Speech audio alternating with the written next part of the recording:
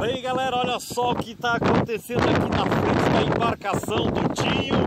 Já quero mandar um abraço aqui pro Dinho e pro Alessandro que estão no bote, né? Com essa imagem fantástica aqui na nossa frente. Olha aí a baleia, galera. Olha que baleia sensacional. É só mesmo em quem vive na pesca, né? Para ver uma imagem dessa. Quero agradecer aí o Dinho, o Alessandro, né? Falar em Dinho e Alessandro, quero já agradecer demais a eles, né? Por esta imagem fantástica e convidar a galera aí, né? Todo dia de manhã aí, o peixinho ali na, área dos pescadores, do filezinho. Mas olha só que imagem fantástica. Tem muito vento, né? tem muito vento, mas a imagem, ela por si diz tudo.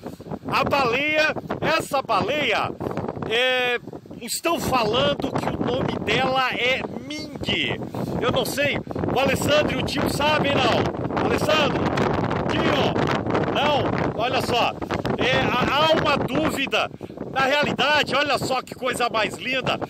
Alguns falam que é baleia Ming, outros estão falando que é uma baleia galha. Eu não conheço, mas olhem que fantástico aqui na nossa frente.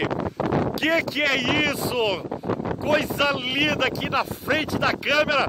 Mais uma vez quero agradecer aqui ao Dinho e ao Alessandro pela oportunidade. Olha aí, galera.